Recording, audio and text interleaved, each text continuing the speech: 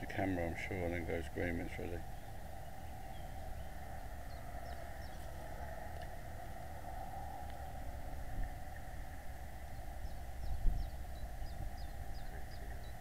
Might mean it's almost flashing, yeah, like you say.